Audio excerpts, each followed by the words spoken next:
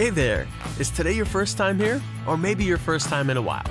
If so, maybe you're wondering exactly who we are and what this church is all about.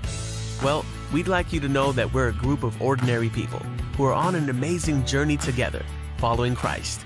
Our guide is the Bible because it's the divinely inspired Word of God and it will never take us in the wrong direction.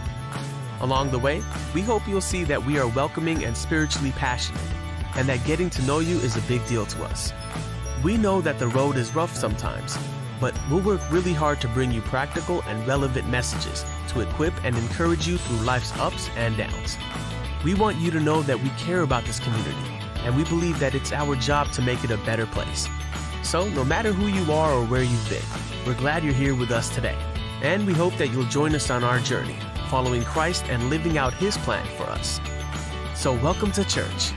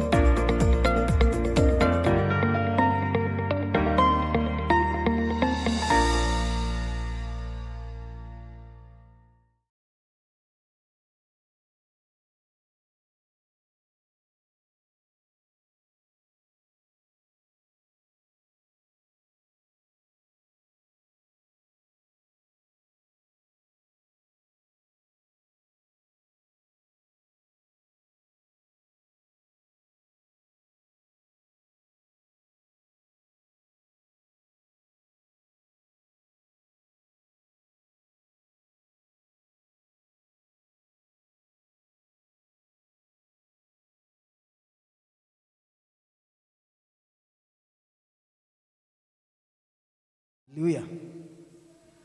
Good morning, saints. Are we glad to be found in the presence of the Lord this morning?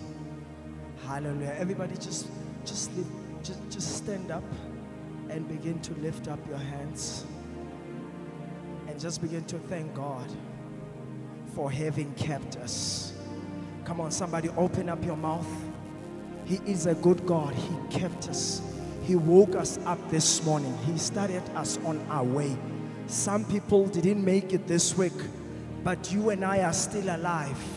It's by His grace and mercy. Hallelujah. We give Him all the praise. We worship Him this morning. Come on, just lift up your hands and begin to create some glow in the house. His name is Jehovah Sabaoth, the one who fights our battles. His name is the King of Kings sovereign Lord, the ruler of everything. Hallelujah. We praise him this morning according to his excellent praise. We worship him this morning because had it not been for him, we wouldn't be here this morning. We thank him. Come on, somebody just begin to open up your mouth. We lift your name on high. We glorify your name. We invite you in this service, Lord God. We say you are welcome this morning. Have your way. Do things the way you want to do them this morning, Lord God. Take over, Holy Spirit. Come on, somebody just begin to pray the Spirit.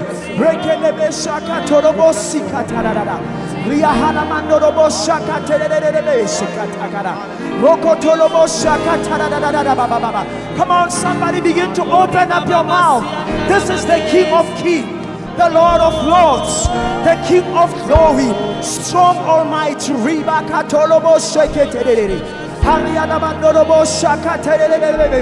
We thank Him this morning that had it not been for His grace, we wouldn't be standing here today. Hallelujah, hallelujah, hallelujah, hallelujah. We honor and reverence His name this morning. We say, You are Alpha, you are Omega, the beginning and the end. We honor and reverence your name. We bless your name this morning. We glorify your name. Hallelujah, hallelujah. Come on, somebody create a new song unto the Lord. Create a new song unto the Lord. Hallelujah, hallelujah. Create a new song unto the Lord. Hallelujah, hallelujah. Create a new song unto the Lord. We honor and reverence his name. Come on, somebody's just sing a new song unto the Lord.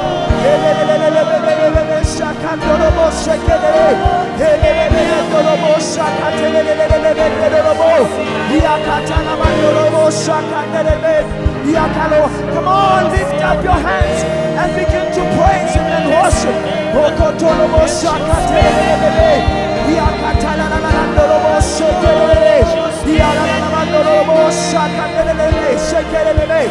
We honor and reverence your name. We honor and reverence your name. We honor and reverence your name. We give you all the praise.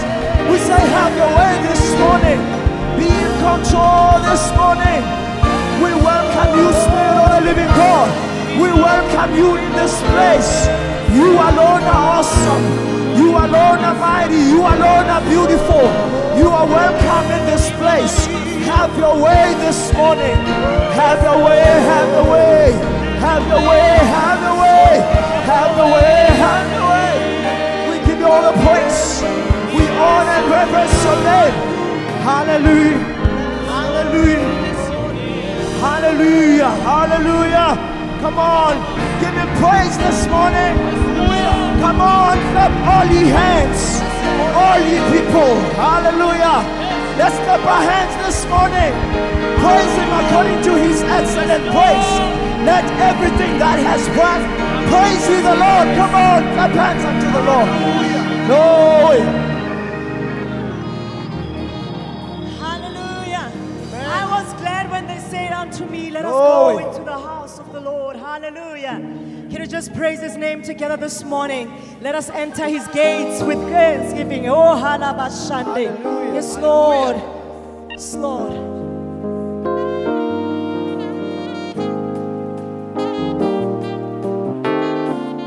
Yes, Lord. Murena di teto down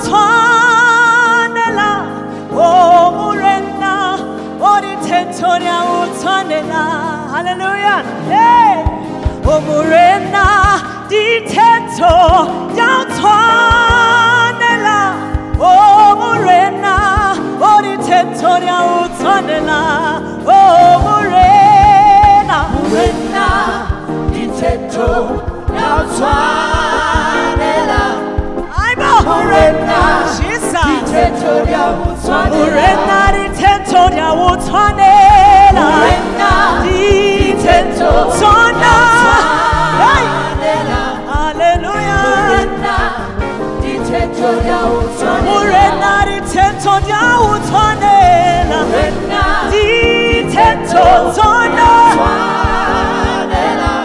Hallelujah. Hallelujah.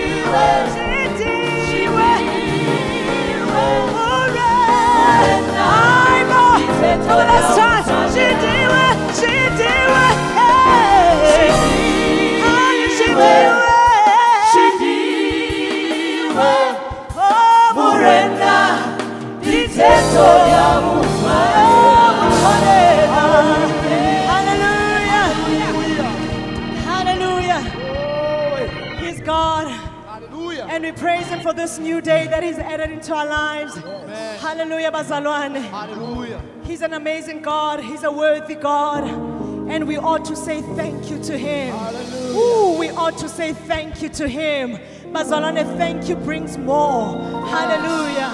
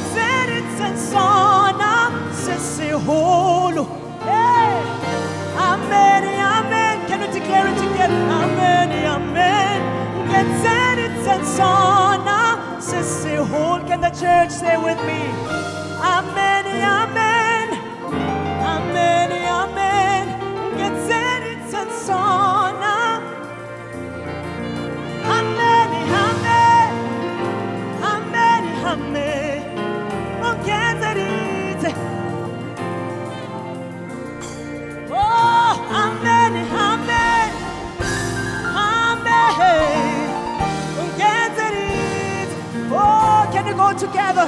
Oh, amen, amen, amen, amen. Get it. Amen, amen. Akube njalo. Get it. Amen,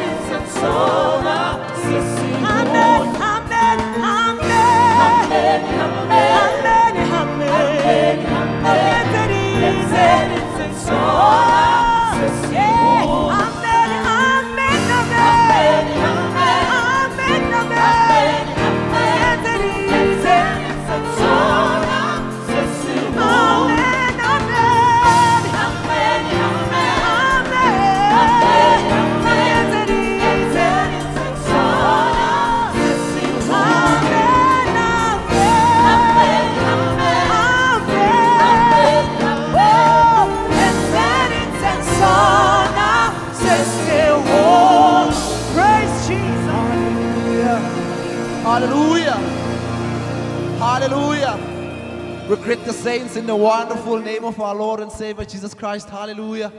Amen. Um, today is Pastor Mrs. birthday. She's so modest. She's like she's, she's not gonna say, you know. But I would wish uh, a happy birthday to you. I hope you're gonna enjoy today. Hallelujah. Because now, if you start it with God, hallelujah, there is no way you're not gonna enjoy it. Hallelujah. hallelujah. Now, we, we, we, we, we, we wish blessings upon your life. We, we thank God for you attending 25 today. Come on, somebody. Ah, come on. hallelujah. We shall continue with the service. Hallelujah. I just thought I should just put it out there, you know, because the birthday cake, the, the birthday cake can't say, hey, it's my birthday today. Please celebrate me. You know, we need to celebrate you. Hallelujah. Amen. Hallelujah. Let's just open our hearts to receive from God. Hallelujah. Just lifting our hands. Lord, we are creating a highway for you, O Lord, in the mighty name of Jesus Christ. May you lead us, Heavenly Father, God, in the mighty name of Jesus Christ. We bless your holy name. There is no one else like you, O Father, in Jesus' mighty name. We bless your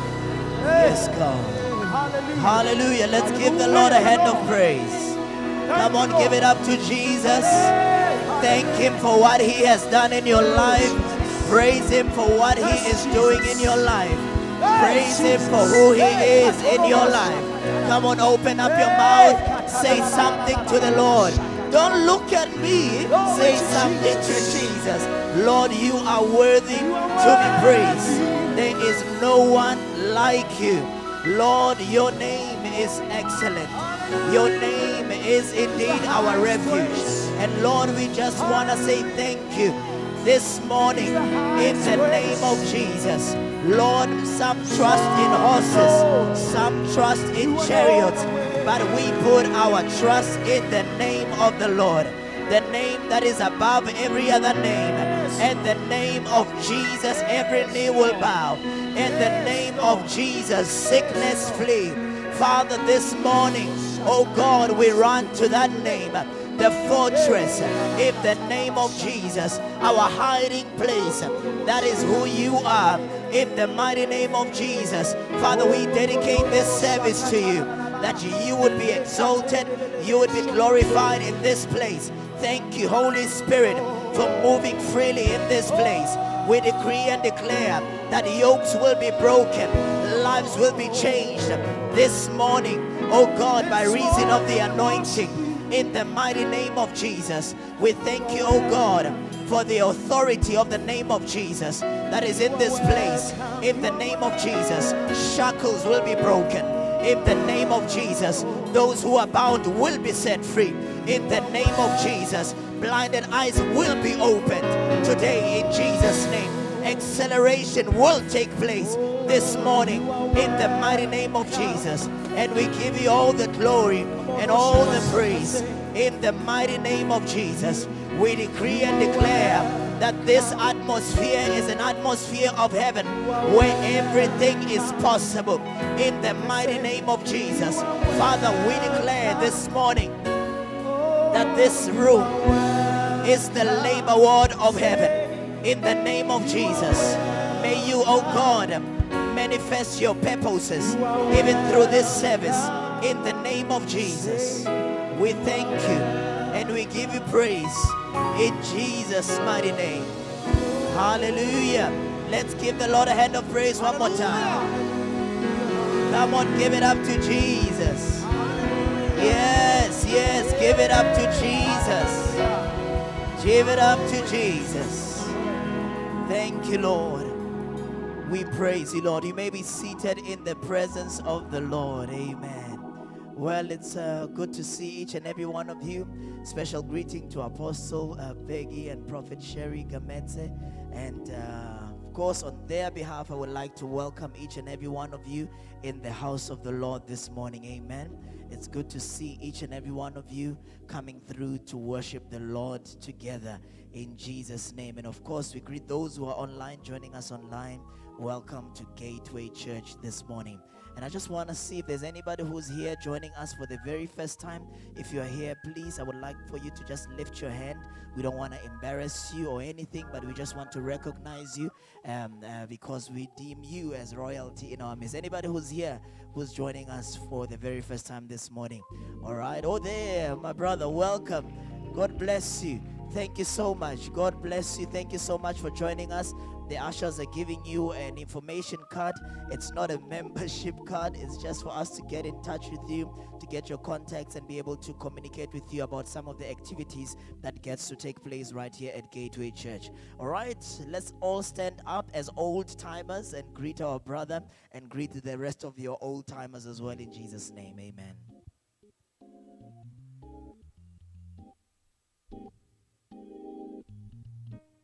Greetings,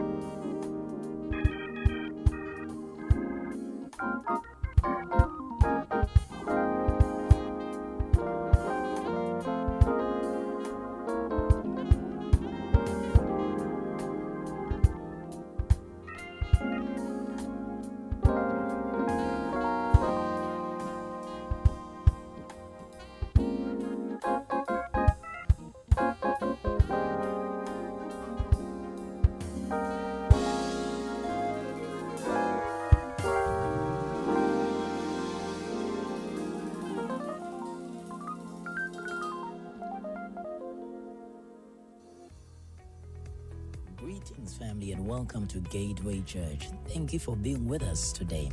Should this be the first time you're visiting us this morning, we hope to see you again and that you decide to make Gateway your spiritual family. Our powerful and uplifting Sunday celebrations takes place every Sunday from 9:30 a.m. to 12 p.m. Let's come on time and invite our friends, family, and colleagues to also receive of God's blessing and favor. Our Global Prayer Force online prayer sessions are on every Monday to Thursday from 9 p.m. to 10 p.m. The prayer rooms are led by Pastor Serge and Genevieve Kazadi on Mondays, Apostle Siphiwo and Pastor Nokol of France on Tuesdays, Apostle Mike Ifanga on Wednesdays, and Apostle Begi and Prophet Sherry Gametse on Thursdays. We are praying for nations, the body of Christ, and personal prayer requests. We are all encouraged to join in on these powerful prayer sessions. Gateway Connect groups are a place where we connect, grow, and fellowship with our brothers and sisters in Christ in a warm and intimate setting. Our Connect group meetings are on every Tuesday from 7 p.m. to 8 p.m. online. The Zoom link is on the screen and it is posted weekly in our Gateway News WhatsApp group. For more information, please contact our Gateway info line. Overcomers classes have resumed every Sunday from 8:30 a.m. to 9:25 a.m. These classes are in person and there are 3 Overcomers classes. Each is 4 weeks in duration. They are important for your Christian faith and your fruitful membership in Gateway Church. Please register at the Connect desk to be part of these required classes for new believers and new Gateway Church members. Training for reigning online sessions with Apostle Begi Gametse are on every Saturday from 6 p.m. to 7:15 p.m. Saints are encouraged to attend these powerful sessions. Apostles' book, The Holy Spirit Empowered Life, is available on hard copy for 180 rands or as a soft copy on Amazon. Get your copy and bless your loved one with a copy today. On Friday, the 21st of October at 7 p.m., we will be having our relationship breakthrough night right here at the Gateway Auditorium. with Apostle Begi and Prophet Sherry Gametse. Please invite a friend for a night of divine encounters in the presence of the Lord. For more information on Gateway Church, please visit our website that is www.nagc.org.za. Alternatively, you can contact us on the Gateway info line that is 060 934 6222. Remember, all our services are streamed live on our social media platforms that is at Gateway Global and on our YouTube channel, Gateway Global TV. Please follow us and share the content. Enjoy the rest of the service.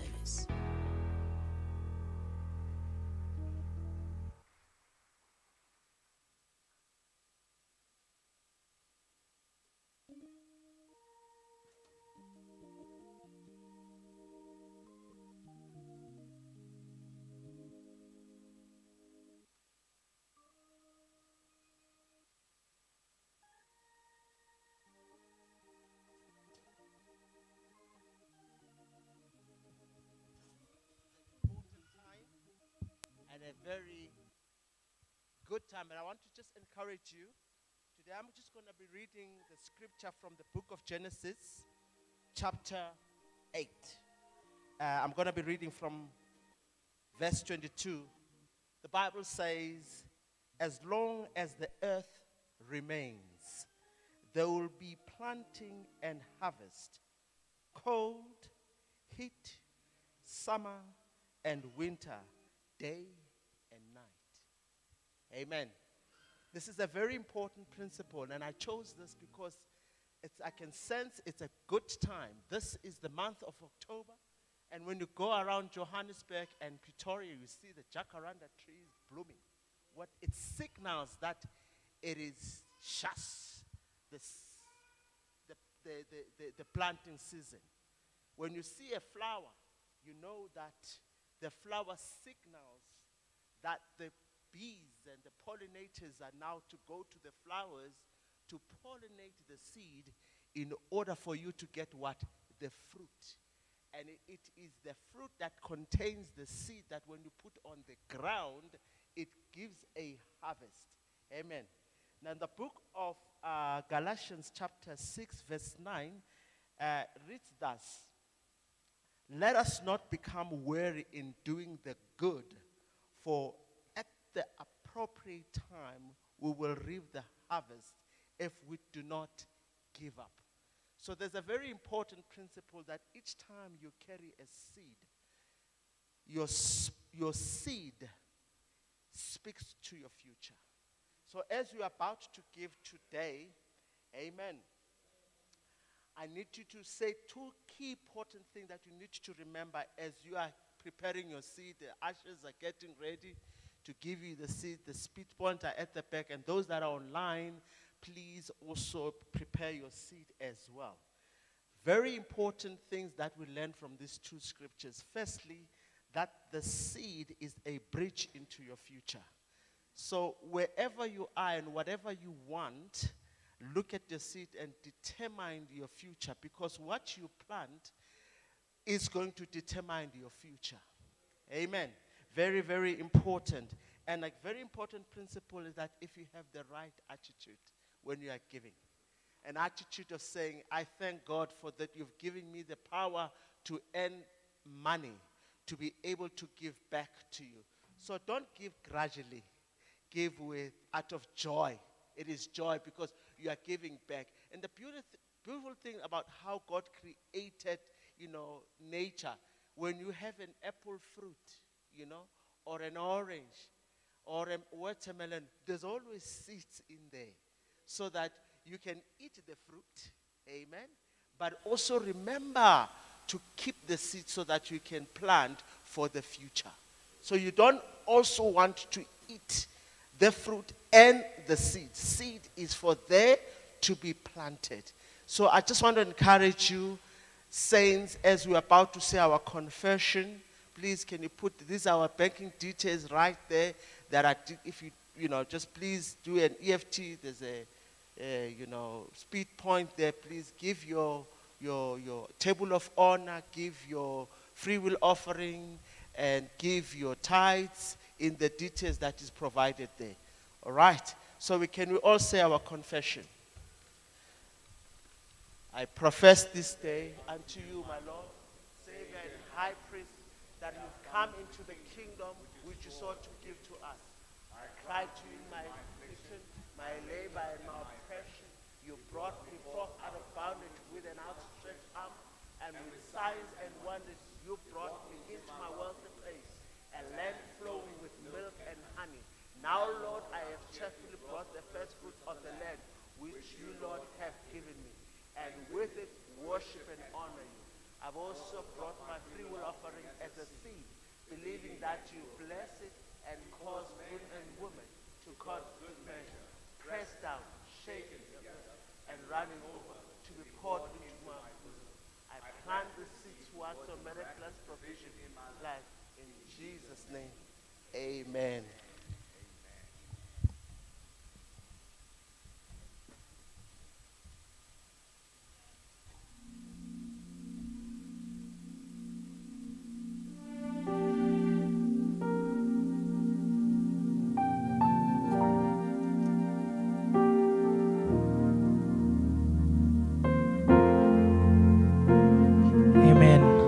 Let's just stand as we worship God and ask Him to prepare our hearts for the word. Amen. Father God, we pray this day. Let our spiritual eyes be fixed on you, Lord. Let our, let our spiritual ears be open to you, Father God. That as you speak, Father God, as we receive our daily bread this day, that we will be filled, Father God. That we will be encouraged, Father God. That we will be transformed. Rabababaseki. Come on, just for one minute, let's just open up our mouths and just worship Him for a moment. Just sing out your own song. We bless your name, we bless your name, Jesus. There's no one else like you, Yahweh. Oh, Ribabasianda. We join the angels and bow before you. Come on, everybody. We join the angels and bow before you, Jesus. You give life, you are love, you bring light to the dark. Come on, everybody. You give hope, you restore every heart that is broke. Come on, everybody sing. Great are you, Jesus. Great more time. Great are you, Jesus. Great are. Come on, church, lift your voice and sing with me. It's your breath, Yahweh. It's your Yes.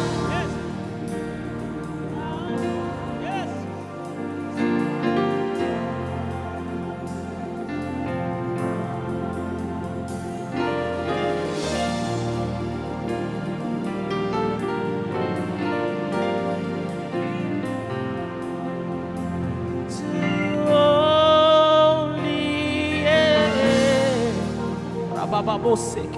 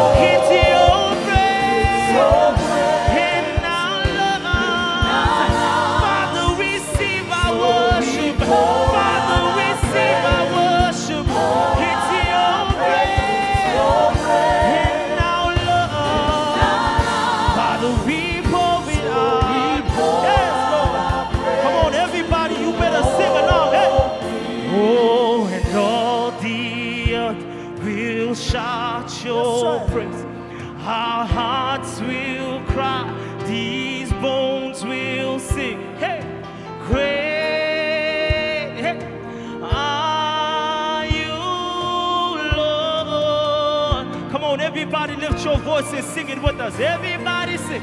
All the earth hey. will shout. Yes, Lord. Oh, you are great, Yahweh. There's no one else like you, Jesus.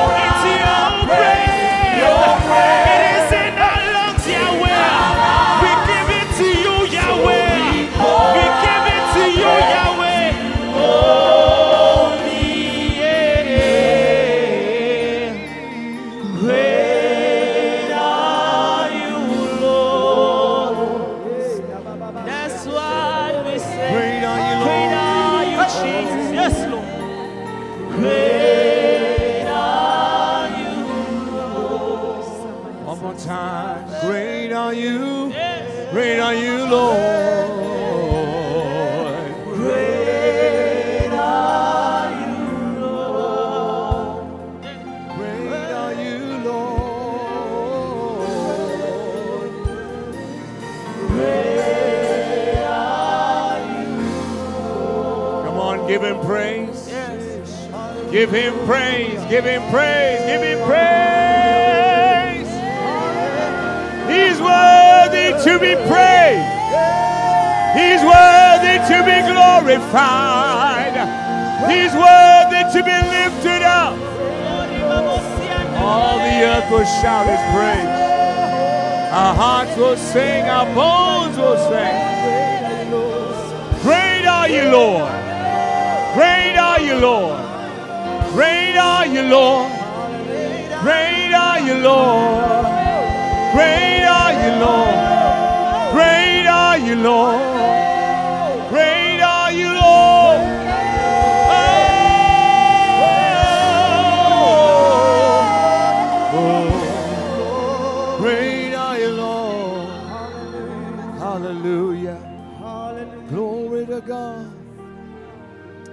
Lord is worthy to be praised as we remain standing in the presence of the Most High. I want to reach in the wonderful name of Jesus and want us to go into our vision confession right now. Um, and after, as a matter of fact, before we do that, before we do that, there's um, one thing about next week Sunday, and I'd like it to go up on the screen. And uh, because next week, praise the Lord, we also have a special Sunday with our very own Pastor Vusi Liu, who's going to be ministering the Word of God to us next Sunday. There you go. There you go. Hallelujah. on, Glory somebody. to God. Hallelujah. Glory to the name of the Lord. We just thank God for what He did on Friday night, our Friday night encounter. Our prayer encounter was amazing. It was powerful. It was on fire. We had uh, Mrs. Notemba Kula here on Friday night, and we left on another level. Praise the name of Jesus Christ of Nazareth. And so, before we introduce the speaker for today and uh, worship the Lord with one more song, uh, I'd like us to do our vision confession. So, if we can put it up on the screen, let us declare this together. New Africa Gateway Church is part of a global end time kingdom dominion movement of the Holy Spirit under the lordship of Jesus Christ. We are a rapidly growing, non denominational, international family of believers, a multi generational, multicultural household of faith under the spiritual headship of Apostle Begi V. Gamedze and Prophet Sherry L. Gamedze, who are our founding senior pastors and visionaries. They're assisted by other ascension gifts, ministers, elders, deacons, and many other faithful workers. We believe that salvation is by grace through faith in Jesus Christ alone. We believe that all scripture is inspired by God and that it has final authority. Here at Gateway, the Word of God is preached and taught as it was taught by our Lord Jesus Christ.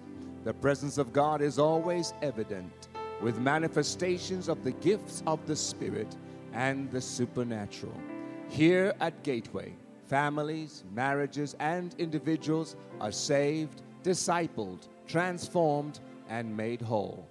We are blessed and equipped through the anointed ministry of the Word of God, the power of God, and the grace of God manifested in our midst. We decree that we are true worshipers and prayer warriors. We are game changing workplace ministers, wealthy entrepreneurs, and kingdom financiers. As kings and priests, we are God's anointed solution bringers at home, the body of Christ, our communities, and marketplace domains. Our vision is transforming lives and building nations. We are a Bible based, Christ centered, kingdom minded community of believing families, households, and individuals. As New Covenant believers, like Abraham, we are cheerful tithers and financial partners to Gateway. We give generously as a lifestyle and obey the Word of God and enjoy God's covenantal blessings in every area of our lives. We decree that multitudes gather to worship and serve the Lord with us in person and online. We decree that through Christ, doors to failure, defeat, and frustration have been closed, and that doors to success, victory, and blessing are open to us in Jesus' name. Excellence marks everything we do. By faith, we decree that we own our own land and buildings, including a 2,400 seat, 24 hour prayer and worship center, and a 7,000 seat, state of the art Gateway Crown Dome auditorium in Midrand. We see a new Africa that is a blessed, united, peaceful, and prosperous continent of hope over which Jesus Christ reigns from Cape Town to Cairo. At Gateway, we are believers and doers of the word. As a result, we rule and reign in all areas of life in Christ in Jesus' name. Everybody say, and give God praise. Hallelujah. Hallelujah. Glory to God. And before you take your seat, uh, it is my honor, my privilege to, to bring back into this house a son to Prophet Sherry and myself and daughter. Praise the Lord. They're here together today. Um, Apostle Sipho Mhlanga, we go back a long, long way. Um, we go back to uh, when he was still a student uh, in the kingdom of Eswatini now, it is kingdom of Swaziland then. And uh, God just connected our lives. He's doing a tremendous work. He has a church uh, work in uh, Swaziland, in Manzini. He has a work in Brakpan. He's got work he's covering even in Mozambique. I saw some wonderful pictures of the work that is happening there in Maputo, in Mozambique, and God is just using him as a tremendous apostolic voice to our generation and to our times. And before he comes up, and as we're going to minister to the Lord in worship, can we welcome the gift of the Lord that's in this house today? Apostle Sipho Mhlanga. Come on, we can do better than that. Hallelujah, hallelujah. Glory to God, hallelujah. And now let us worship the Lord, and the next voice you will hear will be the voice of Apostle Sipho Mhlanga. We bless your name, Jesus. We love you, Yahweh, Yahweh, Yahweh. Oh. Oh, we thank you for your presence. Everybody, lift your voice. You are here. Yes, Lord. And you said you never leave. We need you, Lord. Rababosik. We need you, Lord. Come on, if you're desperate, just open up your voice. You are here. And you said you never leave. We need you, Lord. Yes. We need you, Lord. Oh, we need you, Lord. Everybody.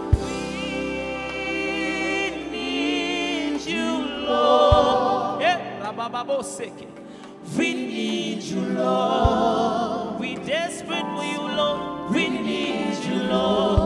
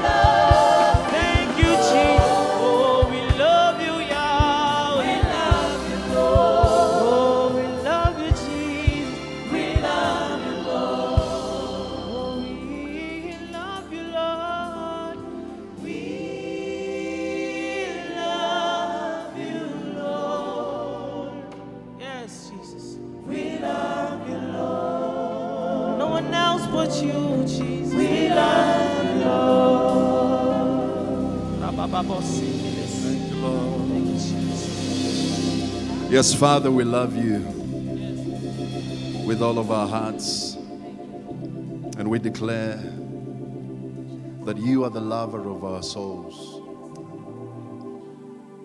And we worship you today, Lord. We thank you for your presence in our midst. Thank you for your glory that is here with us. Thank you, Father God, that you are moving by your Spirit and you do a work in our lives this morning. Thank you, Lord, that your word has a free course and that utterance is given to us. Thank you that you confirm your word with signs following. Thank you that as you minister to us today, you establish us and our lives will not be the same as we leave your house today. Won't be the same as our coming in. And for that, we give you the glory and the praise, and we thank you in advance. In the name of Jesus. And everybody said, Everybody said, Amen. Come on, let's give God a clap offering. Hallelujah. Hallelujah. Hallelujah. Amen. You can have your seats in the presence of the Lord. Amen. What an honor. What an honor it is for, for me and my wife and my two kids to be here today. Um, we we're looking forward to this because Gateway Church is the best church in Houghton and South Africa. Amen. Amen. um, it's it's such a blessing to be here. and just to be a part of what God is doing in this beautiful house. Um, it's always a challenge to, to stand here where apostles and prophets stand with the kind of grace, the kind of revelation and wisdom that flows out of their lives. Yo, it's always a mountain. I must say that um, I, I honor Apostle together with um, uh, Prophet. We honor them together with my wife and my family as, as our parents in the Lord. And um, we are eternally grateful to God for, for the connection. And um, I also want to say that we, we are so much blessed by your ministry. Um, I don't think there is any pulpit that is able to deliver the kind of ministration that you guys receive from here. I, I speak to, to my wife oftentimes, my, my beautiful sugar and spice. I, I, I speak to her, you know, oftentimes, and I say to her, I, I don't think we really perceive apostle and prophet for who they are in the kingdom. Because we are blessed with, with, with true generals in the kingdom of God. And at times, you know, when light is too close to you, the tendency is to be blinded by it and not to perceive it for what it is. And my prayer is that we will not be too familiar with them, that we take the grace of God upon their lives for granted, but that we'll always be appreciative of the vessels and the gifts that they are to us. Amen. Let's give God a hand of praise for them. Amen. Amen. Um, my, my, my, my message is let, let me just put it this way that I hear the voice of God through their voice. I, I believe that the reason why, uh, you know, Samuel kept on going to, to Eli when it was actually God that was calling him, it's because, it's because the voice of Eli had become like the voice of God in the life of Samuel. And so I hear the voice of God through their voices. And uh, the messages that I preach, uh, they find their definition in some of the messages that uh, apostles and prophets share. Um, the message that I'm actually going to be sharing today, which I've been sharing for the past like two months, was influenced by a statement, I think that was shared by uh, uh, Apostle. And I, I, I, was just watching online, and it, it's amazing how at times, you know, Apostle will just share a statement, just a statement, and God would use that to define messages that I would minister for the next like couple of months. And um, I bless God for the apostolic and prophetic voices that you are, not only to Gateway Church, but to the body of Jesus Christ. And my prayer is that God will open the eyes of the body of Jesus Christ to perceive you and to recognize the grace of God that is upon your lives. Amen. I have a word that the Lord has laid in my heart. It's something that I've been working on. And, um, and the Lord just put a twist to it as I was actually preparing to share uh, this morning. And thank you for trusting me with the opportunity to stand where you stand, men and women of God. Um, and so I want us to speak about divine encounters. And I'm going to share a few nuggets that I believe will be helpful to all of us uh, on divine encounters. And uh, I observe all protocol. I recognize all the pastors that are in the house Pastor Vusi, Pastor Lunga, Pastor Numiso, all the pastors that are in the house, um, and the ministers, Minister Sparks, and um, the leaders, you know, the deacons and the elders, in Jesus' name. Amen. Hallelujah. I want us to use John chapter 4 for our case study. John chapter 4.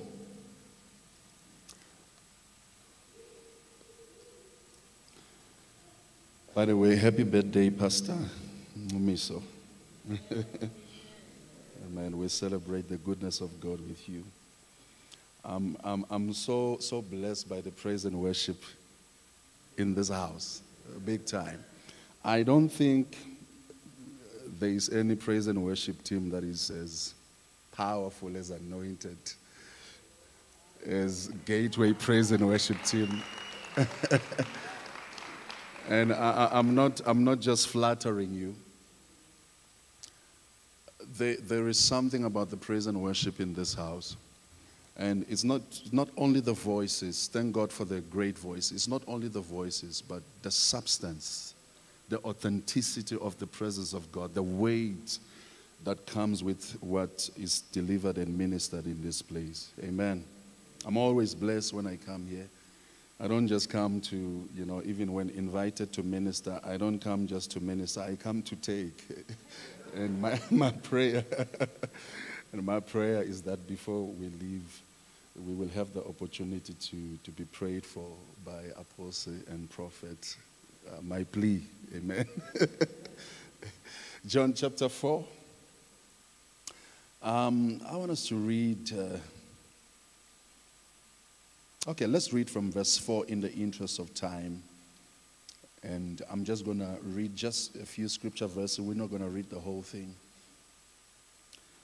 But it reads in verse 4 And he must needs go through Samaria. Then cometh he to a city of Samaria. He came to a city of Samaria called uh, Sychar, next to the parcel of the ground that Jacob gave to his son Joseph. And look at verse 6. Now Jacob's well was there. Jesus, therefore, being wearied, with his journey, he set thus on the world, and it was about it was about it was about the sixth hour. There cometh a woman of Samaria to draw water. Jesus said unto her, Give me to drink, for his disciples were gone away unto the city to buy meat. Then saith the woman of Samaria unto him, How is it thou, being a Jew, Ask a drink from me, which am a woman of Samaria, for the Jews have not dealings with the Samaritans. Jesus answered and said unto her, If thou knew, if you, you knew the gift of God, and who it, who it is that says to you, Give me water to drink, you would have asked of him, and he would have given thee living water. Amen. Now, we are told here in verse 4 that Jesus had to go through Samaria. He, he had to go through Samaria. And if you read the whole portion, you realize that the reason why Jesus had to go through Samaria is because he needed to have an encounter with this woman that we're reading about. It's amazing how, how, how God is go, will go through lengths and breadths just to have an encounter with one. Just one. He had to go through Samaria for this one, for this woman. And we are told that Jesus, being wearied from his journey, he sat by the well. Very, very interesting that you know, Jesus was 100% the, the Son of God, but he was still 100% the Son of Man when he was here on earth. And as a human being, he got tired. And we are told that he was wearied from his journey. And because he was wearied from his journey, then he had to sit by a well. In other words, the one that had watered others needed to be watered himself. The one that had refreshed others, he needed refreshing himself. He needed to be refreshed. He sat by a well. And him sitting by this well was actually a divine setup.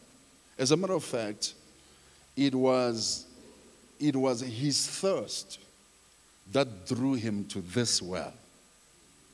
And we cannot talk about true godly encounters without talking about thirst because if we are going to have true, genuine, lasting encounters with God, we will have those encounters because of thirst. It is thirst that draw us into the presence of God.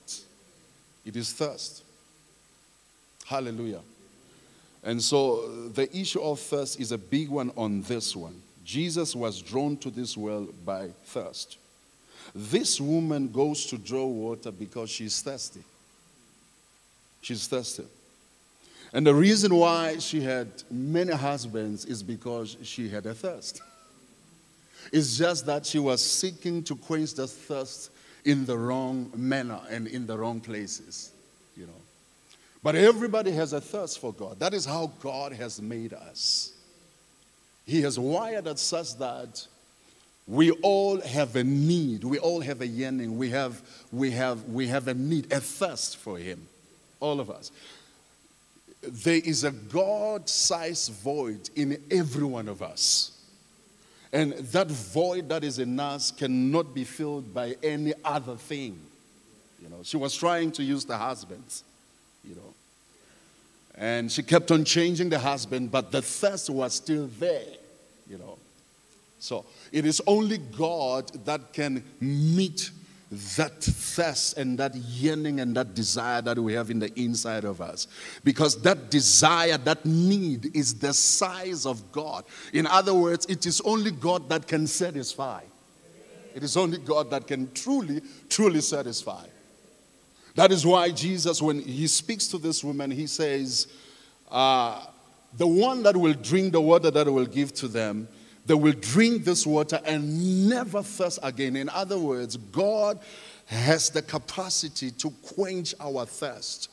But even as He does quench our thirst, we still uh, remain thirsty for Him. And it's important that that thirst is ever abiding in us because that thirst keeps us coming to Him over and over and over and over again. In the book of Psalm 63, he says, Early will I seek him. He says, he says, I thirst for you in a dry and barren land. In other words, what draws me to you, what keeps me coming to you every morning and every early morning is the fact that I'm thirsty for you. I'm thirsty for you.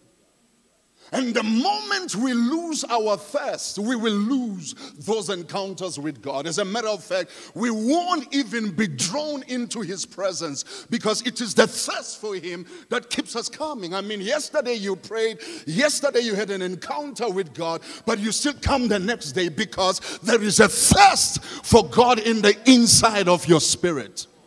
Somebody said, I'm thirsty for God. Somebody say, I'm thirsty for God. That's the reason why we, we are here this morning. We are here because we are hungry. We are thirsty for Him. The Bible says, Blessed are those that hunger and thirst for His righteousness, for they shall be filled in the kingdom of God. You are blessed when you are spiritually poor, when you recognize your need for God. And the opposite of thirst is complacency. And the church of Laodicea in the book of uh, Revelation, chapter 3, had a challenge. They were complacent. They thought that they were rich. They thought that they had it all together. When in actual fact, In the eyes of Jesus, they were desperate, they were pitiful, they were, wretch- they, they, they were a wretched people. And he tells them to buy, he tells them to buy true gold from him. Amen. And so complacency is to be satisfied, to think that you have arrived. That is complacency. And in the natural, in the natural, if you lose your appetite, it is a sign of decay, it's a sign of sickness, it's a sign of disease in the natural. A loss of appetite is a sign that there is something wrong with you. See? In the spiritual, if you lose your appetite for God, it means there is a spiritual decline and decay that has started to happen in your life. If you cannot do the things that you used to do when you first fell in love with Jesus, it's an indication that there is a decline that is taking place in your life. If you're comfortable about going to watch a soccer match, Instead of coming to church first on a Sunday, something has started to happen in your life. If you're comfortable about starting your day without spending your time in the presence of God and just you're comfortable about doing all your daily chores with that ease, there is something that has started to decline in your life. Something needs to be fixed. Somebody said, I'm thirsty for Him. Come on, somebody say, I'm thirsty for Him. One of the greatest things that God can ever deposit in your life is thirst for Him. And my prayer is that we remain thirsty for Him. I'm looking at the life of Paul. The first encounter that he had with Jesus was on the road to Damascus to persecute the church. And you know the encounter. So this blinding light fell, fell off from his horse. And he has an encounter with Jesus. Who are you, Lord? What do you want me to do? That is the first encounter. And he had a series of other encounters and personal revelations that he had with Jesus Christ. But 28 years after that Dam- first encounter on the, on the road to Damascus, this is what Paul says in the book of Philippians that I may know him. That I may know him. What do you what do you mean, Paul? I mean, you have seen Jesus face to face. You've had great revelations. As a matter of fact, he wrote two thirds of the New Testament. What do you mean that you may know him? There is no ceiling in knowing him. There is no ceiling. You don't get to a place where you hit the ceiling and you think it's enough. I've arrived. And it's important that we stay we stay thirsty we stay, we stay thirsty. Now, God gave me a revelation some years ago about what takes place in heaven when those angels worship Him and they repeatedly shout to Him, Holy, holy, holy. And this is, this is the revelation. This is how He made me understand the whole thing. And He says to me, when these angels respond and they shout to Him, Holy, because worship is our response. Worship, when we worship God, we are simply responding to all that which God is, has, and does. And so worship is our response. And so he tells me, he says, when these angels shout holy, they are simply responding to the holiness of God. And it sounds like they are repeating it, but it's not a repetition because when they say holy, they have seen a layer of the holiness of God that they never saw before. They never saw before. It's a new revelation, it's a new dimension of the depth of the holiness of God that they have never seen, that they have never experienced. And this thing has been going on throughout all of eternity. And so we never arrive with God. We never arrive, we never hit the ceiling. We never get to a place where we have had enough of God. His mercies are new every morning. Every time you encounter Him, every time you encounter the presence of God, He is always fresh. The presence of God is always fresh. And the words that He speaks to us, it is always fresh. It's amazing how we have been reading the Bible for years, but every time you read the Bible, God speaks something fresh to you. Man shall not live by bread alone, but by every word that proceeds. Present continuous. God is always speaking. God is always speaking. And what he says to us is always, is always fresh. And he says in Isaiah chapter 43, Behold, I do a new thing.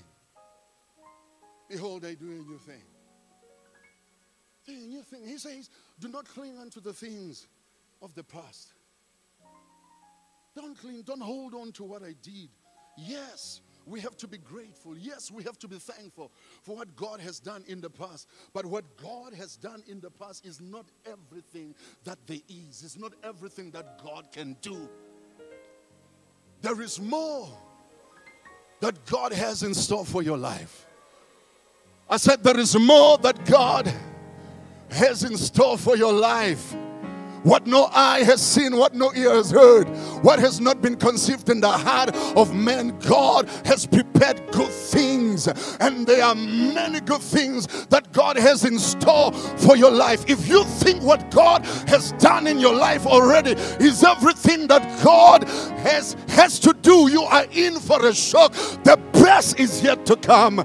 Can I speak to somebody here? The best is yet to come. As a matter of fact, God is going to show himself strong on your behalf even before the close of this year. Hallelujah. Hallelujah. Somebody say, There is more. Come on, somebody say, There is more. Very, very interesting here that we are introduced to this well that Jesus sat beside. And we are told it was Jacob's well. It was Jacob's well. And Jacob is a man of encounters. And we saw that encounter in Genesis chapter 28. He came to a certain place. Came to a certain place. He lay there. It wasn't comfortable. I got that from Apostle. The place was not comfortable. It was a it was a stone that he put his head on. That's not a comfortable place, but it was the place.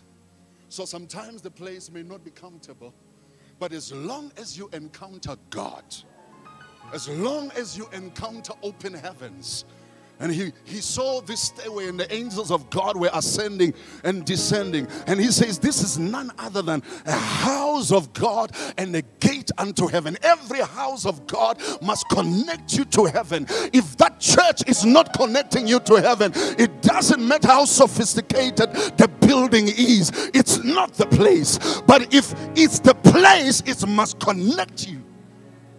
Must connect you to heaven like we're connected this morning. Like you come into the house of God and you come with a new experience. You come with a fresh touch from the Lord. Hallelujah. Jacob had an encounter.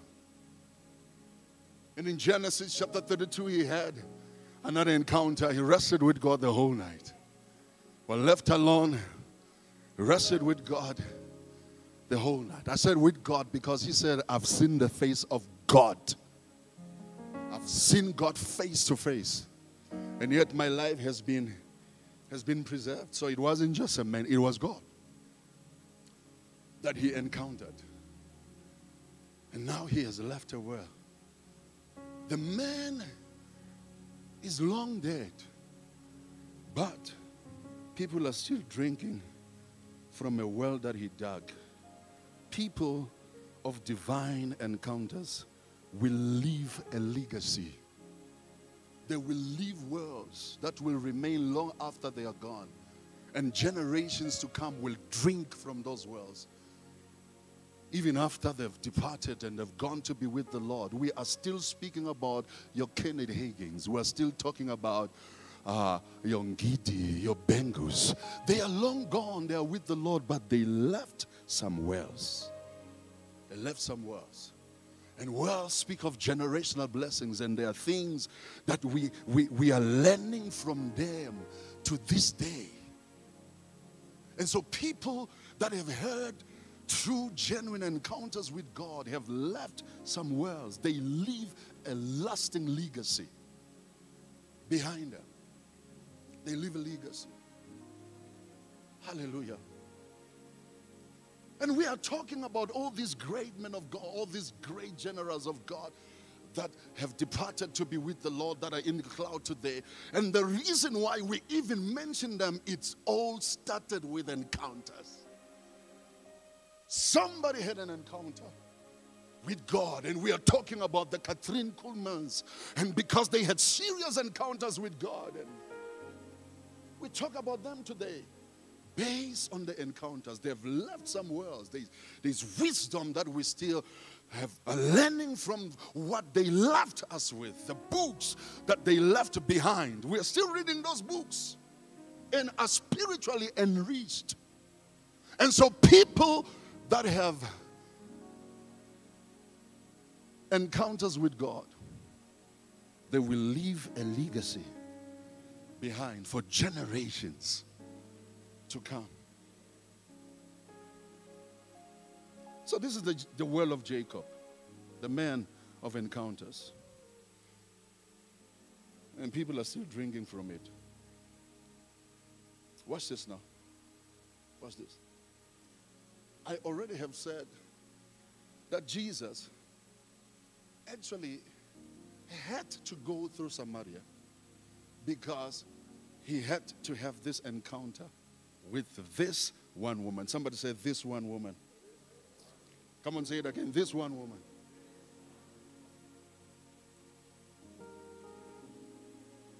One. Hear this. Encounters are personal. Yeah, they're personal. I thank God that we come together uh, to church and we come corporately to worship the Lord, but I tell you, our experiences are not the same. Our experiences are not the same because we connect to Him in a personal, in a personal way. And so encounters are personal. Come on, tell your neighbor it's personal. It's personal. It is personal. It is personal. In the book of Genesis, chapter 32, verse 24, the Bible says that when he was left alone, he rested with God when he was left alone. In the book of John, chapter 1, very, very, very interesting narrative in John, chapter 1. This is what happens. Now, John the Baptist is traveling with his disciples, and they see Jesus approaching from a distance. And John the Baptist made this this comment. He says, Behold, the Lamb of God that takes away the sin of the world. And the Bible declares that the next day, they have the same experience. They see Jesus coming from a distance. And John the Baptist again makes a comment. This time he doesn't say who does what, he just says, Behold the Lamb of God. Behold the Lamb of God. As if he is suggesting to the disciples that what I said yesterday about him is my experience of him based on my encounter. And so, if you are going to say something about him for yourself, you need your own encounter. You need your own encounter. And the Bible says that at that, the disciples of John, they started following Jesus. They started following Jesus. And Jesus, he, he, he actually turns, he turns around and he says, what, what are you seeking? And they said, they said, show us where you dwell. Show us where you dwell. In other words, you cannot encounter him if you are not accustomed, if you are not familiar with the place where he dwells. In other words, in other words, for you to encounter him, you must be familiar with his presence, where he dwells. Show us where he dwells. And the scriptures tell us that he does inhabit the praises of his people. The scriptures show us that he's available when we come to him to pray. He dwells in the secret place. Amen. Show us where you dwell. And Jesus says, Come and see. It's an open invitation. Come and see. And the Bible says that they abode with him. They abode with him. They abode with him. Because if we are really going to encounter him, we must abide. It's not going to happen if we, if we just clock. We really must spend time. As a matter of fact, Apostle shared the scripture in Genesis chapter 35. The call to go back to Bethel. God is calling Jacob and he's calling him to go back to, to Bethel. And this is how God say, how, how God uh, tells it to him. He says, Go back to Bethel and dwell there. And so Bethel, the place of encounter, is a place where we dwell. We dwell there. We don't just, it's not just a matter of visiting in and out. It's not a hit and, it's a hit and stay. We stay there. Somebody said Bethel is a dwelling place.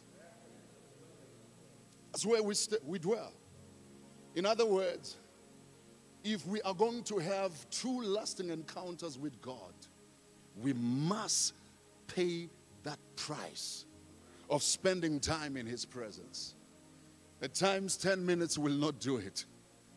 Now, it has to be upgraded to 30 minutes and then an hour and then two hours and then three hours. And then it gets to a time when where time doesn't matter anymore.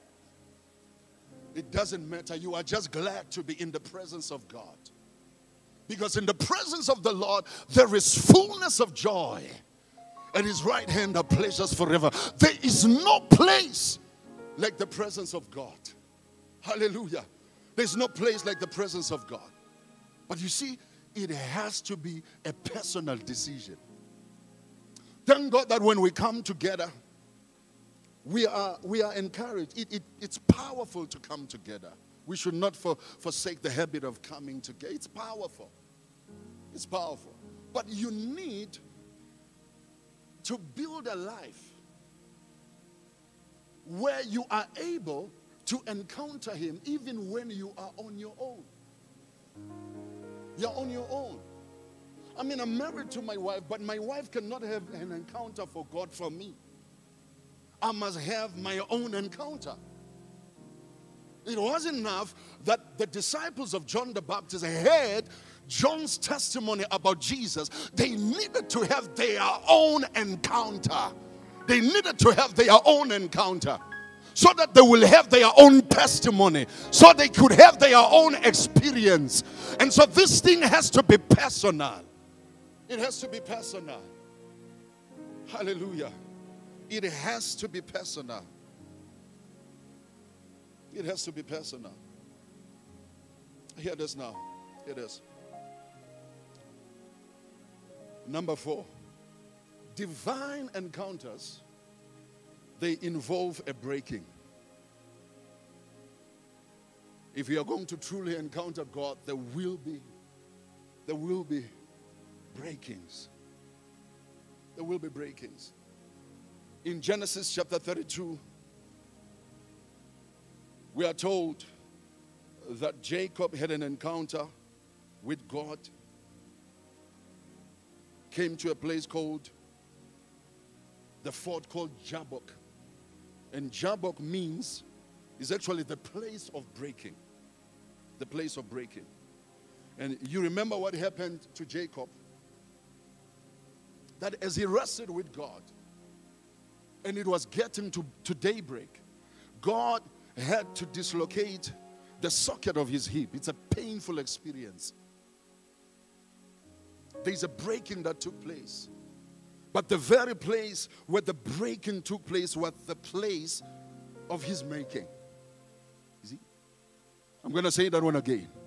The very place where the breaking has taken place becomes the place where God makes him. That's the place where God changes his name and he says, You are no longer Jacob, you are Israel. God reigns, you are a prince of God. Now, not only not only does God change his name and his identity, but he also changes his walk. Because then, the next day, when the next day comes, Jacob is not walking the same way. You see? And I say the acid test to every genuine encounter with God is a changed life. It is transformation. If our lives have not been transformed, then that encounter was not true. It wasn't genuine, or either it was it was genuine. We are just resisting the change. You cannot have an encounter with Jesus and remain the same way. It's impossible to have an encounter with Jesus and remain the same way. And when we have those encounters, oh, there will be times of breaking. And I'm not saying that God is going to do, will be doing the breaking. As a matter of fact, in Israel, you know, you know that the shepherd walks ahead of the sheep. Not like we do it like in Swaziland and here in South Africa that we are behind the livestock. And so you'll have the shepherd ahead of the livestock, and the sheep, they follow the shepherd. They know his voice. You know, and as he calls them, they follow him. And once in a while you have this this this sheep that always goes astray, you know, always doesn't want to listen to the shepherd. And what he does is he will intentionally break its leg. Painful. Break its leg. And the purpose, the reason why he breaks the leg is not just to punish it. He doesn't do it to punish it. He does it so that this sheep will learn to depend on the shepherd. And so he will carry it because now it's healing. It's healing. And he will carry it every day, walks with it, talks to it, and it becomes more acquainted and accustomed to, to his voice, to the voice of the shepherd. And it bonds with the shepherd. So that by the time the healing is complete, it has bonded with the shepherd. It will always know the voice of the shepherd, and it will always follow the leading of the shepherd. And so sometimes God allows the breakings. I'm not saying that God breaks us. I'm not saying that God will pick up, you know, uh, a huge stick and, you know, I, I was, I'm laughing because I'm, I'm remembering a status that I saw and somebody was saying, Sitose baba singamagwinya akho. And I'm saying, I don't think that's God. But God may allow breaking situations. There- there's a difference between instig- doing it yourself and just allowing it. Because God, in His manifold wisdom, is able to use all things to work together for our good. What was meant for your harm, for your destruction, God is able to turn it around and use it for your own good and for your own advantage. Yeah. And so, every encounter will involve a breaking. And the purpose behind the breakings that we go through are there to teach us to depend on Him, to lean on Him, to realize that without Him we are nothing. At times, God will break you just to remind you that, yo, you cannot do this thing all by yourself. You need to depend and lean on me. Hallelujah. And so, every true encounter, there will be some breakings. And God doesn't break us to break us. He doesn't break us to kill us. He breaks us, He breaks us to make us. Hallelujah. Hallelujah. Hallelujah. These encounters, I'm going back to what I said earlier on, just to put some more sense to it. They are personal. Somebody say it's personal. Somebody say it's personal. It's personal. It's personal. As a matter of fact, the woman that had an issue of blood, I like that one, has been losing blood. And you know the story. And she said within herself, If only I can touch the hem of his garment, I will be made whole. I want you to notice something here. This woman initiated the encounter. She decided to touch the hem of Jesus' garment. Now, the challenge with most of us, we wait to be touched. You have to initiate the touch. You need to be the one that makes the first move. And the Bible says, Draw nigh to me, and I will draw nigh to you. And one of the things that I've come to realize about God is the fact that God is not going to fix what is not broken. He will not water what is not thirsty. He will not feed what is not hungry. And God wants to see your thirst. He wants to see your hunger. And you have to initiate the encounter like this one. This woman, if only I can touch the hem of his garment. Didn't just touch the garment, the hem, the most anointed part of the garment. Because when the oil flows from the head, most of it will collect at the hem of the garments.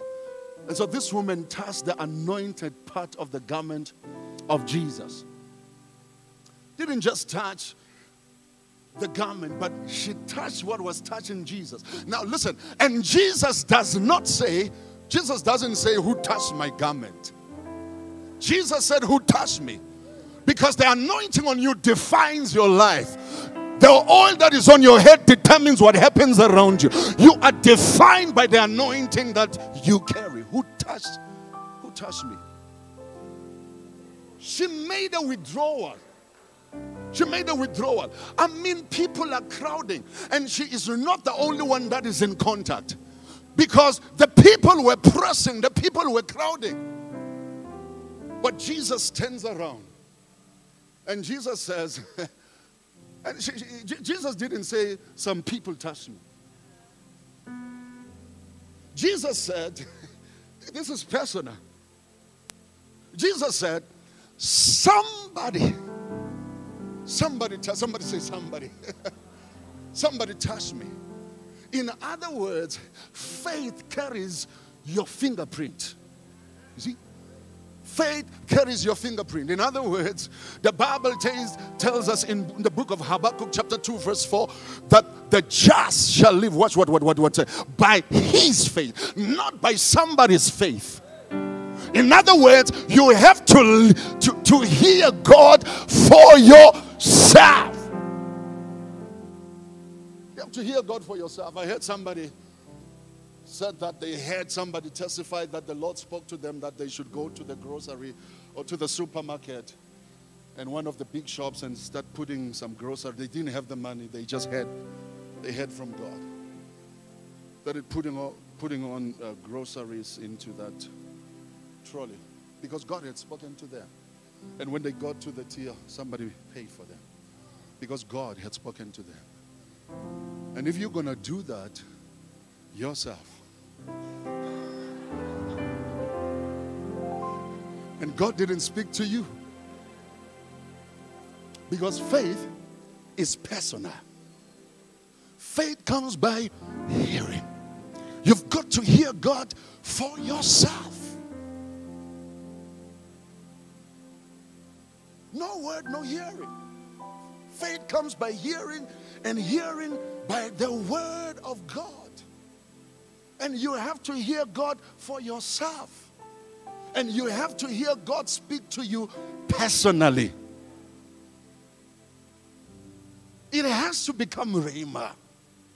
It has to become Rhema. I like what Jesus said when Satan came, came, came, came to test him uh, in, in, in Luke chapter 4.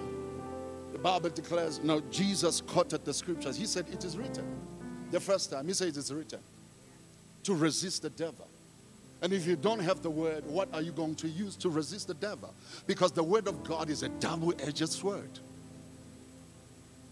And the second time he says it's written. But the third time, Jesus did not say it is written. He said it is said. In other words, he the word of God has been remalized. Now God is speaking to him personally. It's a personal situation. Now you have to hear God speak to you personally. Somebody say these encounters are personal. Hear this now. Hear this.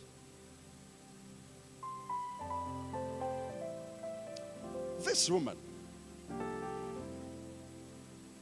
this Samaritan woman, she she encountered Jesus.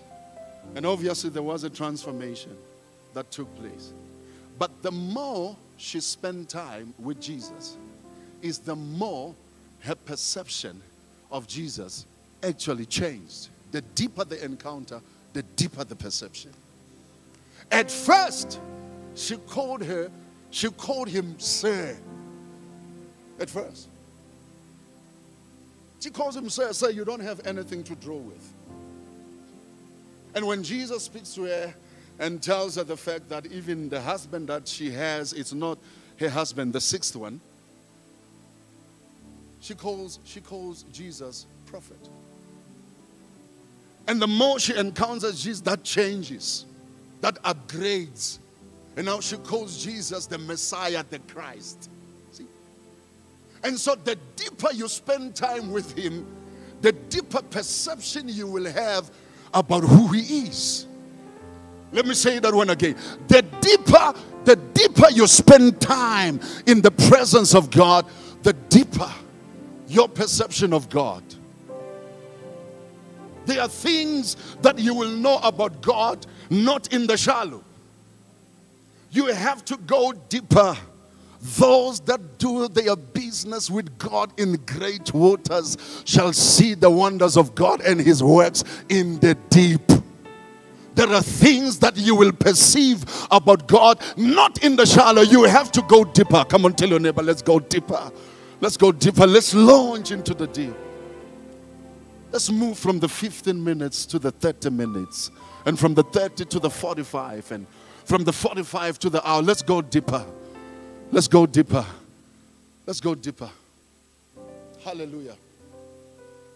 Hallelujah. Watch this now. And so, the deeper she encountered Jesus, the deeper perception she had about Jesus. Watch, watch this now. Never, and I'm going to end with this one. Never underestimate what God can do with the life that has been transformed. Never. With a life that has encountered Him. Never underestimate what God can do with that life. And so, if God is going to change a city, if God is going to change a nation, if God is going to change a continent, He's not just looking for everybody, He's looking for people that will have an encounter with Him. Because when He transforms those individuals, through those individuals, whole cities will be transformed, nations will be transformed, regions will be transformed through the transformation of one. And so this woman was transformed. Overnight, somebody say overnight. I know there is a gradual work of transformation that is happening in our lives. But there is works of transformations that happen instantly. I mean, overnight, this woman, this woman that was a harlot, overnight, she becomes an evangelist. And she goes to the city of Samaria and she evangelizes and she tells them, Come and see the one that has told me everything that I ever did. And I always say, to win souls to Christ, you don't have to know all the Bible. You don't have to know homiletics and hermeneutics and exegesis. No. Yeah, that, that is important. But you need to know your story. You need to know what happened to you. You need to know your testimony. Your testimony is enough to change another life when shared with another person. If we can all, if we can go out there and begin to tell our own testimonies, to the people out there, you will be amazed at the transformation that will happen in the lives of others.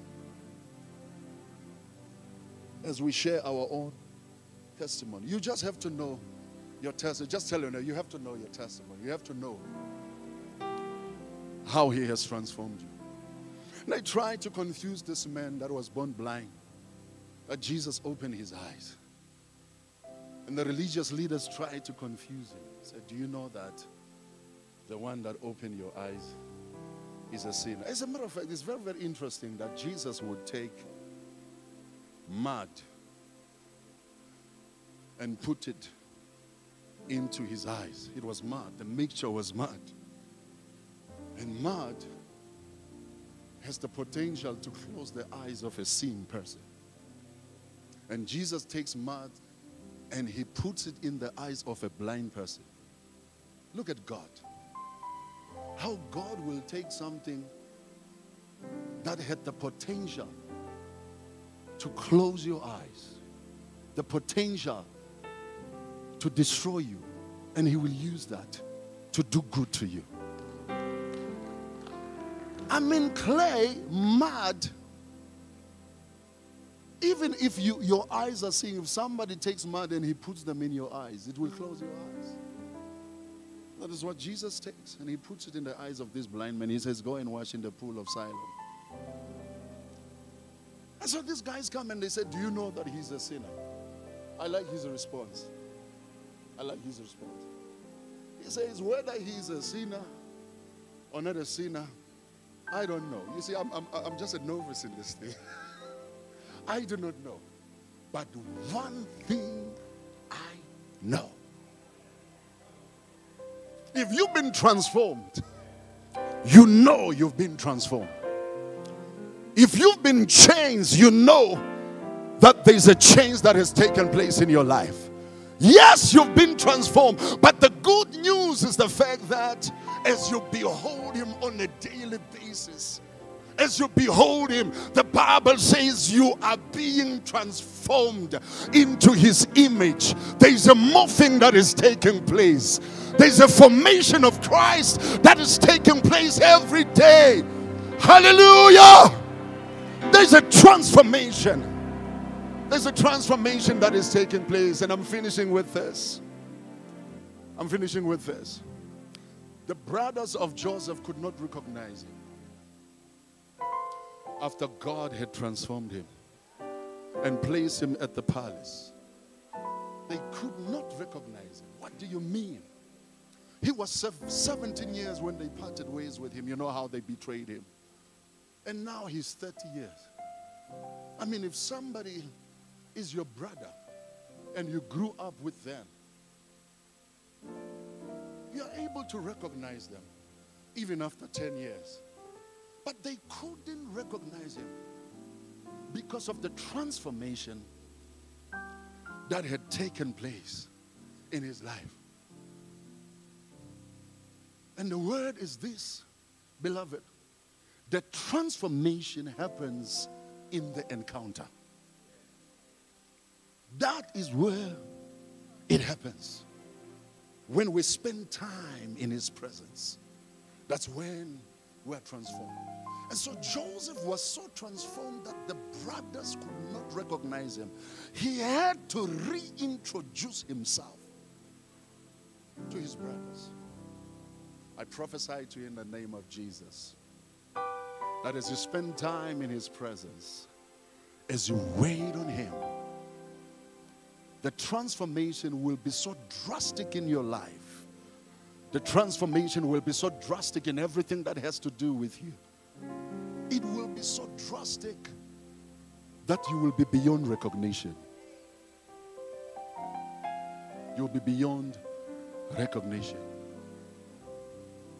Our present suffering is not worth comparing with the glory that shall be revealed in us. It's a glory, there's a weight that is coming upon us even this season. Even this season. And so, some of the things that we have gone through, some of the struggles and the challenges that we've gone through were actually labor, labor pains to help us to birth this new level. As soon as Zion travailed, she brought forth. She brought forth. We are in a birthing season. Some new levels are being birthed, new dimensions, new breakthroughs, new encounters are being birthed in the season that we are at. But it happens as we encounter Him, as we touch Him. I want us to stand on our feet. And before we leave this place, just for a minute, let us touch Him. Let us touch Him. Before this woman that had an issue of blood touched Jesus, she was losing life with every loss of blood. Because life is in the blood. She was losing. But after she touched Jesus, the virtue came out of him and she started gaining. There was a reversal of the cycle that was going on in her life. I just want us to touch him before we leave this place. And as we do that, there will be a shift. Instead of losing, we'll start gaining. Come on, just talk to him in the Holy Ghost. Come on, somebody touch him. It's personal. Lina mashta karabandri dabashta. Jandeli kapala la rababasha. Oh God, we refuse to be the same after we've been in your presence. We refuse to be the same after we've encountered you. Lita pande ritazia blande ricasto blababa. Shande de bosta karabande de besta. Shanda ribande kiso tala la babayada. Shande kabande rista blande bliza de resta la la ba. Lambare de de de de de de shanda la la baba. Zantora rabande de de bebeshai. Kalalande de de besta. Come on, somebody just press in just for one, one more minute. One moment. Come on, just press, press, press. Litariande stabalandri daste castiliaba. Eh, shalalamande, shalialalamande. Zondorodo shaladadande rabande de bonda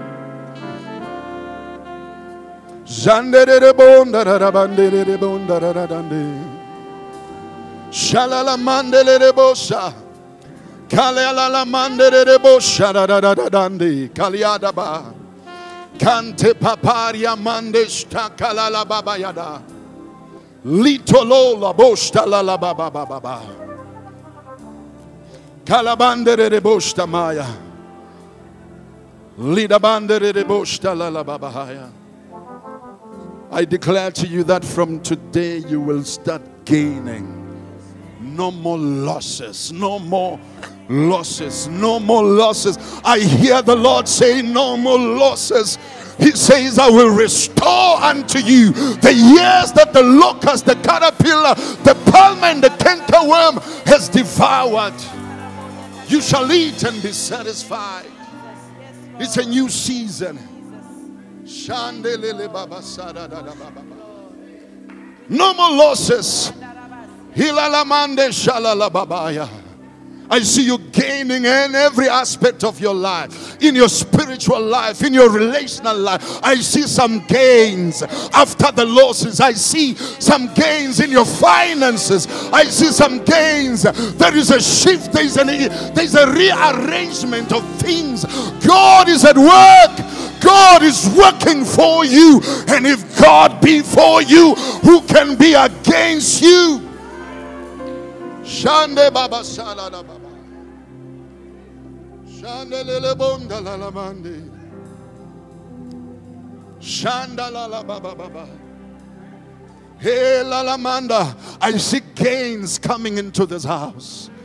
I see gains. I see additions and multiplication. I see increase in every level. Oh, it's a new season. And the Lord is doing a new thing.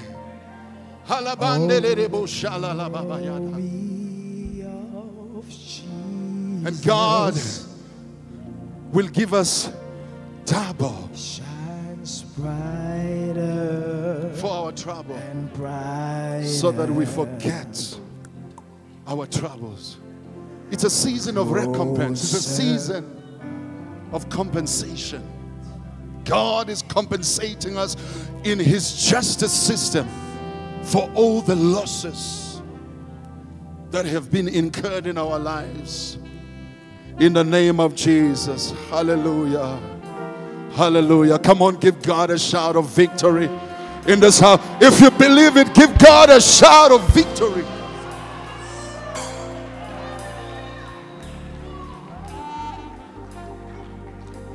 shines brighter and brighter.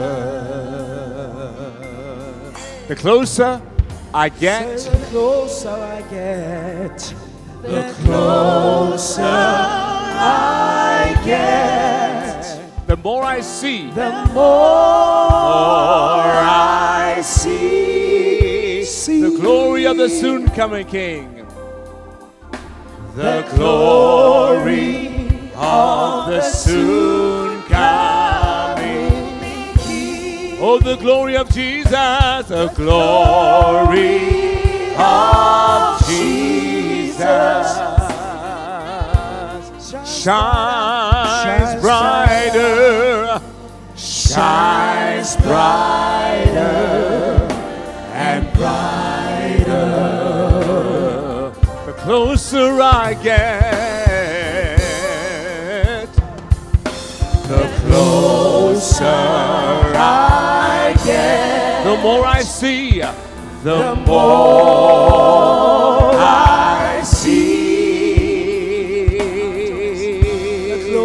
the soon coming King. The glory of the soon coming King. Hallelujah. Hallelujah. Lift up your hands to Him and respond to Him right now. Father, we thank you that you will never release a word like this if you did not intend to perform it and to give us encounters. So even now, Lord, I thank you for the performance of this word. It is personal. And Lord, we thank you for a new thirst, a new hunger. Remove from us every sense of complacency and give us a fresh thirst and a fresh hunger for you, Lord, that we might keep on chasing after you. Thank you, Lord, for that thirst, and thank you for that hunger. As we go on and we're going to sing, it's a new season. We're going to sing, it's a new season. I wanted to notice something here that these encounters, these encounters with Jesus, very few of them took place in church.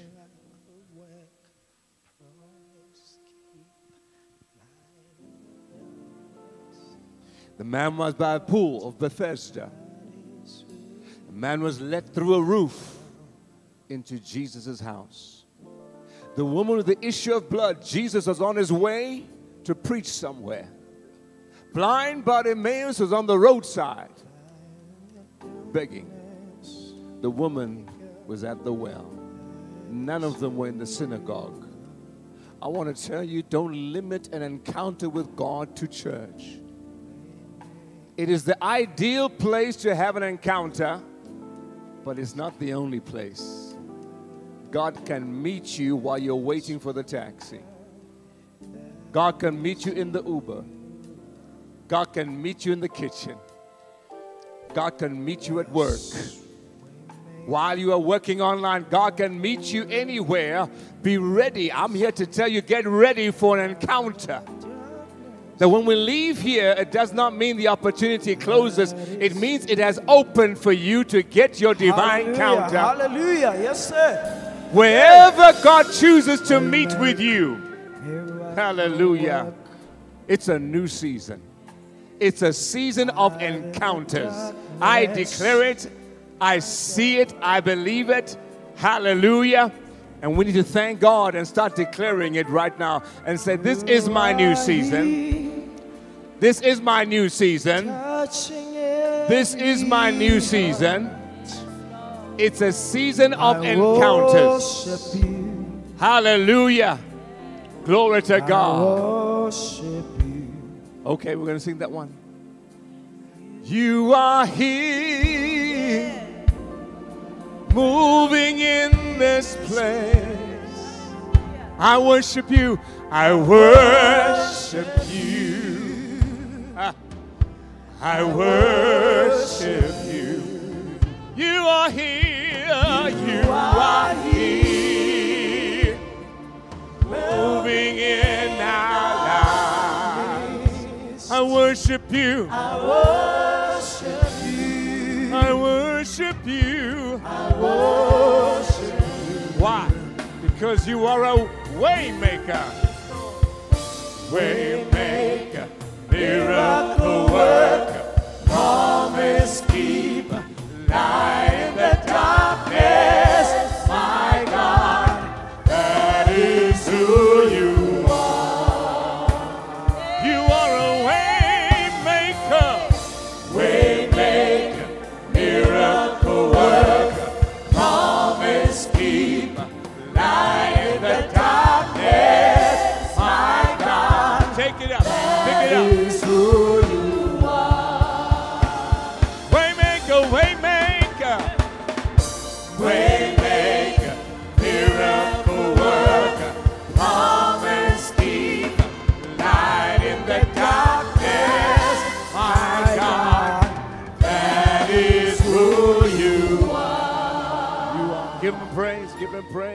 Praise, praise. Hallelujah. I just want to help a few people. You know, many times we get a message like this and we really don't know what to do with it. But I'll tell you what to do with it. God knows your address, He knows where to find you, He knows where to meet you. I want to encourage you right now. I see somebody this week, their whole life is about to change Yes, in a supernatural encounter and intervention with God that's going to take your life in a new trajectory. This is your week. If you receive that word, say to yourself, This is my week. Everything is about to change about you. Everything's about to change in your life. This week is a week Hallelujah. Ha! Hallelujah. Hey, yeah. Hallelujah. This is a week of change, of transformation, and divine encounters that are going to change your life. See, three men, three men in this house, three men in this house. Everything's going to change, starting with your spiritual life. It's going to change. Ha!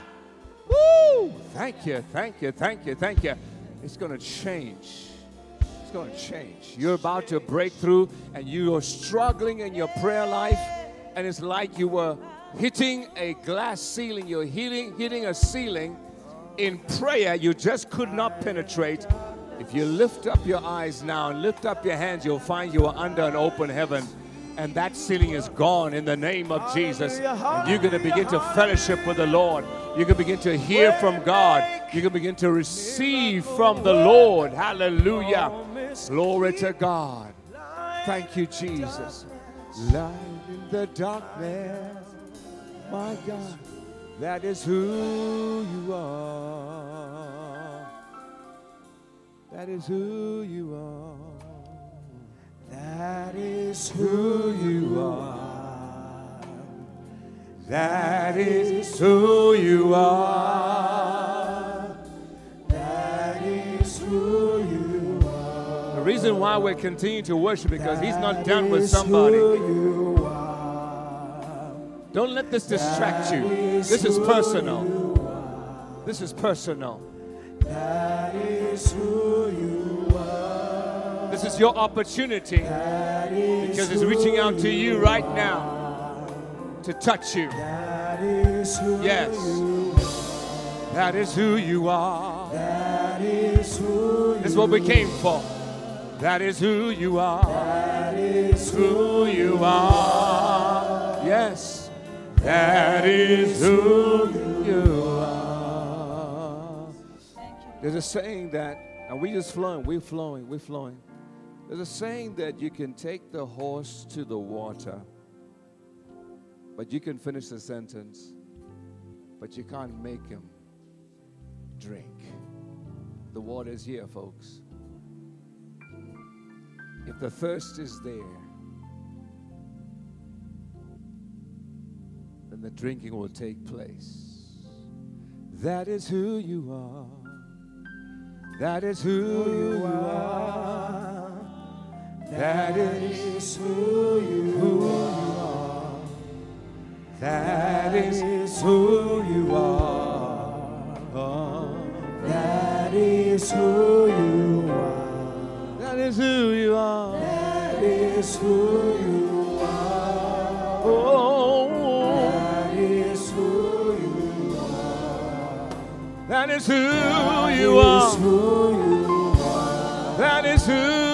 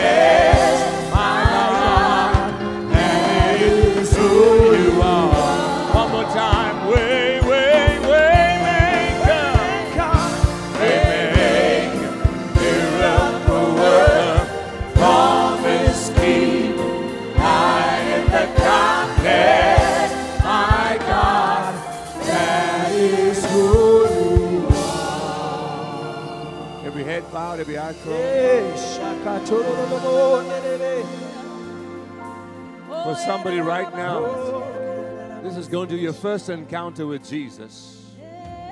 The first encounter is to encounter Him as Savior. You've come to church, it's the right place. You've gone to churches, that's a good thing. But you never had an encounter with Jesus as Savior.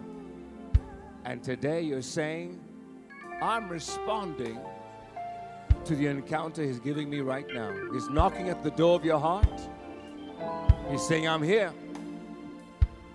Open the heart, open the door, and I will come in. Wherever you are, even online, you're saying, That's me. I want to give Jesus my life. I want to be my Savior. I want to be my Lord. Raise your hand so I can see it, so we can pray with you. Thank you, Jesus. Thank you, Jesus. Someone is saying, I, I've gone so far, so far.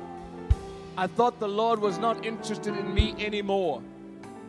I thought He'd forgotten about me. I went so far away, but I'm coming back today, and He's, he's giving you an encounter as Savior, that He's still your Savior.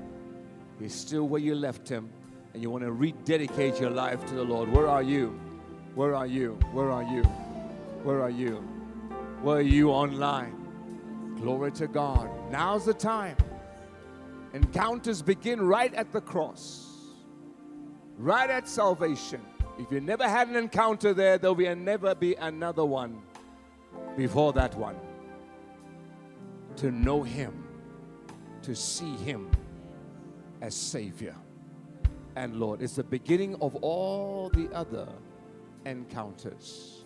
So, Father, we thank you, we praise you, we glorify your name for the word that we have received today and the prophetic utterances and declarations that have been made. We seal them under the blood of the everlasting covenant in Jesus' name. And all God's people said, Amen. One more time, give God praise for the word that we received from Amen. Apostle Sipho Mhlanga. Hallelujah. Hallelujah. Wow. Wow, wow, wow, wow, wow. We're going to let you go. We're going to release you. Praise the Lord. Next Sunday, Pastor V is in the house. Amen. Make some noise. Hallelujah. Glory to God. Hallelujah. I'm telling you, last week we had a tremendous time with the global um, prayer force online. Uh, we're there every night from Monday to Thursday. God met with us in a powerful way. And I know that God's going to continue to meet with us as you decide which night you want to participate in. Join the global prayer force. These are opportunities to encounter God. Hallelujah. Glory to God. I want to do something here because I still sense that God is still at work in some people. We're going to close the service, but we're going to have just about five or ten minutes for an afterglow.